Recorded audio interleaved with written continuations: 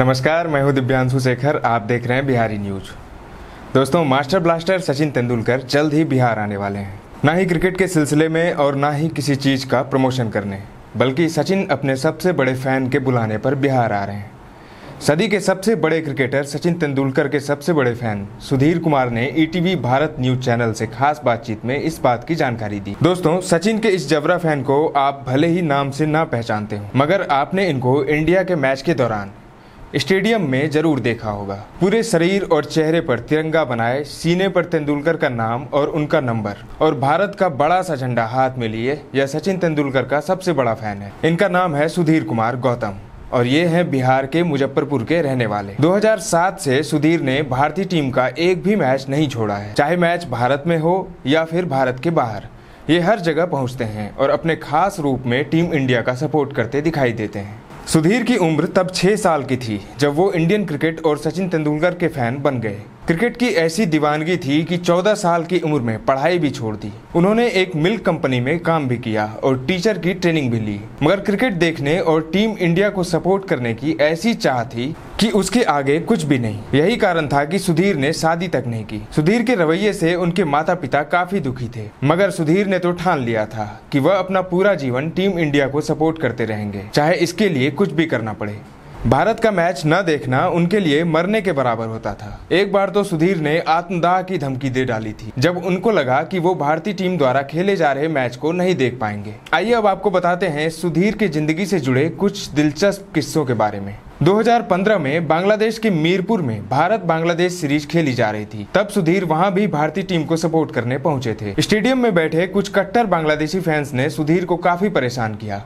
यहाँ तक कि उनके जान पर बनाई तब बांग्लादेश पुलिस द्वारा उनको रेस्क्यू किया गया था। एक बार एक सीनियर पुलिस ऑफिसर ने सुधीर से माफ़ी मांगी थी। ये 2010 की बात है। कानपुर में एक बार प्रैक्टिस सेशन के दौरान सुधीर सचिन से हाथ मिलाने के लिए आगे बढ़े। तभी एक सीनियर पुलिस ऑफिसर ने सुधीर को हटा दिया। इतना ही नहीं, उन्हें हिरासत में भी ले लिया। तब सचिन ने खुद मामले में हस्तक्षेप कर सुधीर को छुड़ाया था। पुलिस वाले को अपनी गलती का एहसास हुआ और उसने खुद आकर सुधीर से इस घटना के लिए माफ़ी मांगी।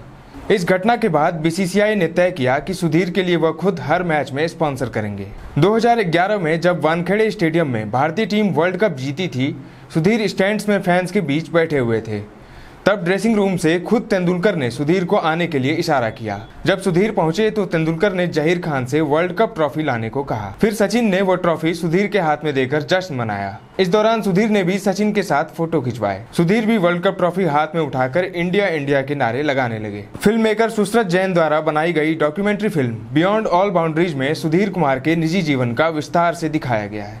अब सुधीर कुमार ने तय किया है कि वो अपने शहर मुजफ्फरपुर में सचिन तेंदुलकर का एक मंदिर बनवाएँगे। इस मंदिर का उद्घाटन करने के लिए सुधीर अपने भगवान सचिन तेंदुलकर को बिहार बुलाएँगे। सुधीर मंदिर निर्माण को लेकर इसकी रूपरेखा तैयार करने में जुट गए हैं। ईटीवी बिहार से खास बातचीत में सुधीर कुमार ने कहा कि जब अमिताभ बच्चन और रजनीकांत के मंदिर बन सकते हैं तो सचिन तेंदुलकर के मंदिर का निर्माण क्यों नहीं हो सकता? उन्होंने कहा, मैंने मुजफ्फरपुर में सदी के सबसे बड़े क्रिकेटर सचिन तेंदुलकर का एक भव्य मंदिर बनाने का संकल्प लिया है, जो जल्द ही पूरा होगा। इसको लेकर कई लोगों से सकारात्मक बातचीत भी हो रही है।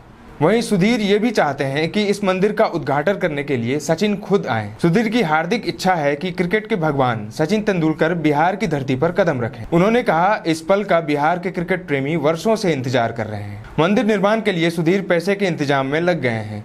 और जैसे ही पैसों का इंतज़ाम हो जाएगा, वैसे ही मंदिर निर्माण का कार्य शुरू करवा देंगे। फ़िलहाल कोरोना संक्रमण की वजह से सुधीर इन दिनों क्रिकेट के मैच में टीम इंडिया का मनोबल बढ़ाने के लिए देश से बाहर नहीं जा पा रहे हैं। ऐसे में इन दिनों वो अपने परिवार और मित्रों के साथ मुजफ्फरपुर में समय बिता रहे हैं। तो ऐसे हैं सुधीर कुमार। हमें पूरा विश्वास है कि सुधीर का ये संकल्प पूरा होगा और उम्मीद है सचिन को हम जल्द ही बिहार में देखेंगे। अभी के लिए इतना ही। क्रिकेट से जुड़ी खबरों के साथ हम फिर मिलेंगे। देखते रहिए आपका अपना बिहारी न्यूज़। धन्यवाद।